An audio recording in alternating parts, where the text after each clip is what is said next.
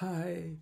Today we're going to resume our uh, typical discussion of uh, another sutra, uh, following up from our previous sutra, Pluta Pragarhya Achinityam, Pluta Pragarhya Achinityam. When a vowel follows a Pluta or a Pragarhya vowel, everything stays the same. Prakritya stays the same. Today's sutra 6.1, 127 in Ashtadhyayi and 91 in Siddhanta Kaumudi is Iko Savarne Shakalyasya Hrasvascha. Iko Savarne Shakalyasya Hrasvascha. So I am going to, I mentioned, I think in the last video that I'm going to do two videos about this. The second one, in which I will try to um, provide a detailed derivation in terms of our uh, rules of the grammar uh, of how everything we're going to discuss today works, why it works and how it works, and referring back to all a bunch of our sutras that we've studied before. Uh, so today we'll back on track here with Iko Savarne Shakalyasya Hrasvascha. Ikaha Asavarne Shakalyasya Hrasvascha. Anuvartihi is Padanta Prakritya Achi. Padanta Prakritya Achi. Now, as I will say a little bit more about later, uh, not everybody takes Padanta as uh, coming uh, in Anuvrti. And in fact, it does come from quite a way, um, which we'll discuss in the next uh, video, because Ingaf Padantadati also explains the, the Avagraha in Eko Asavarne and the missing up from the beginning of Savarne but it also supplies us with Padanta here.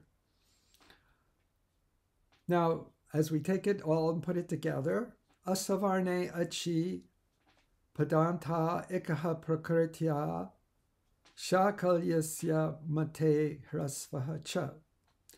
Asavarne Shashti Achi shash, I mean, Asavarne Saptami Achi Saptami. So Asavarne achi pare, when a non savarna ach follows, achi savar, asavarne, padanta ikaha, and ik, which is padanta, word ending, a word final ik, prakritya, uh, unchanged naturally, shakalyasya mate, in shakalya's in, uh, opinion and it will be Hrasvaha. So we'll start with a sort of straightforward application of this and then touch on a few of the uh, interesting uh, doubts that some commentators have had. so if we take Chakri with a Dirga E and follow it with Atra, uh being an ach. Then we have an ach with a following a word final ik, e.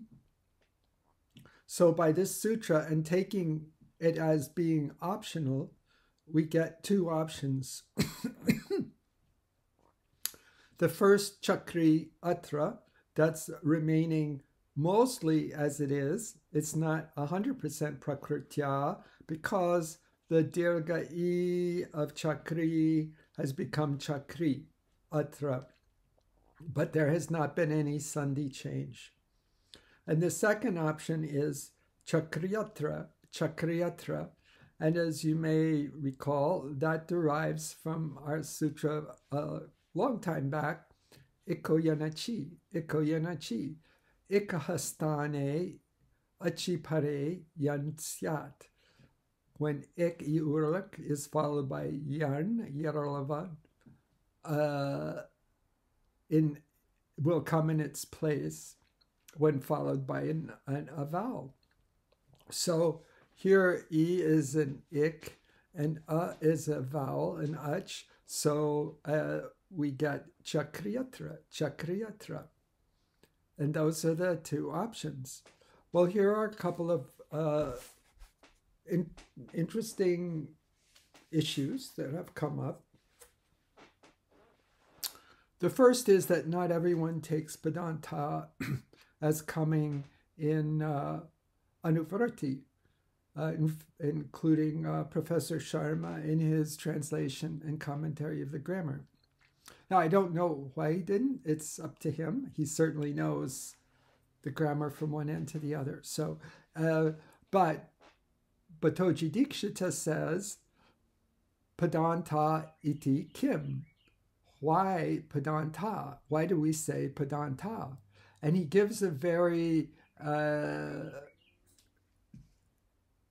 uh, thought provoking response. One word, he says, Gauryau, Gaur Yao. Well, how does Gauryau explain the necessity for Padanta in this sutra, Koyo Savarne Shakalyasya Hrasvascha?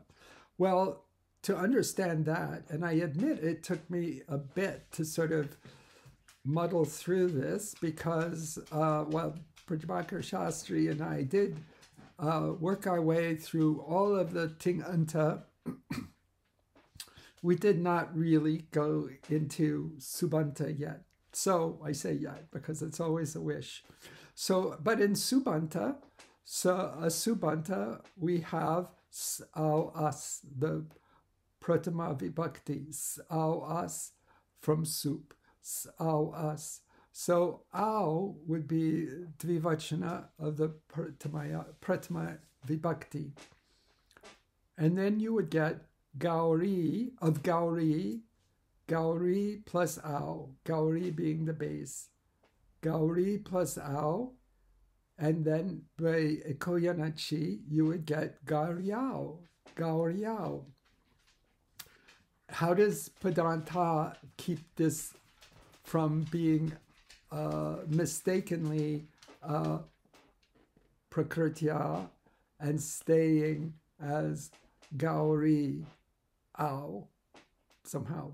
Well, the answer to that is that uh, we can go back to 1, 4, 14 and 29 in Siddhanta Kaumudi, Suptingantam Padam, Suptingantam Padam. It goes back to the grammar's definition of pada. A pada is one that ends with a sup or ting, sup or ting.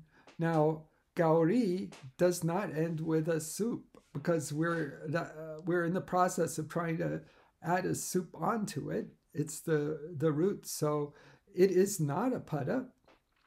Therefore, the e of Gauri is not padanta. Therefore, there is no optional prakritya. There is no optional staying as it is, and we have to invoke ikoyanachi and get gauryam.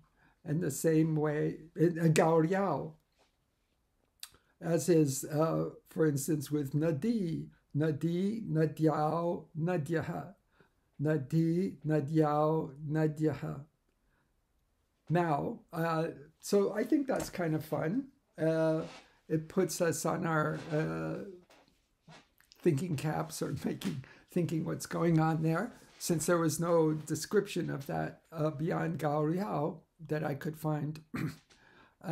now there is one catch, which is that uh, we will find out, I think, fairly shortly that the Suptingantam Padam is not, as with many things in the grammar, hundred percent, because later of the vibhakti, the root is considered pada. The root is considered pada. That's why Bhattoji cleverly takes this uh, pratama vibhakti as the example, which it is, it is totally legit. And uh, then the bigger question is, well, uh, how is this get along with the Koyanachi? Well, as always, one thing I say is we don't have to figure it out because whatever the case will be, somebody else will have already thought of it. But that that brings up another aspect of this, which is a bit interesting, which is that uh, Patanjali, it, it, feels strongly that in this sutra, Eko Asvarne Shakalyasya Hrasvascha, the Shakalya is mentioned not to uh, express its being optional, but purely out of reverence, purely reverential. And Patanjali seems to feel that way about Shakalya in several sutras. And I can imagine that the importance of Shakalya for uh, Panini may have been much more tangible then, but I do think it was probably very important. So, how does uh, Patanjali work around this? The uh, how do you get it to be optional without uh, pinning that on Shakalyasya Mate? Well, it's it's it's pretty straightforward, I guess, especially if you get to kind of make up the rules. But the reason is that this sutra is so directly in conflict with Ekoyanachi that it doesn't make any sense for it to be anything other than optional. And uh, and there you go. The other little tidbit that uh, I won't go into at all really is uh, uh, Bhattoji says that the cha here is uh, unnecessary. The Hrasavaha cha um, and uh, that's just another point of uh, mild contention. So uh, again, in our examples, we had chakri, dirga i plus atra, and we ended up with chakri with hrasva i and atra. And now we will uh, call it a day. And in the next uh, discussion, we'll go into the uh, sutras that provide for each of the words in this sutra. And we could point out that you might not think that ik is a word, um, but it is because it's subanta. Thank you.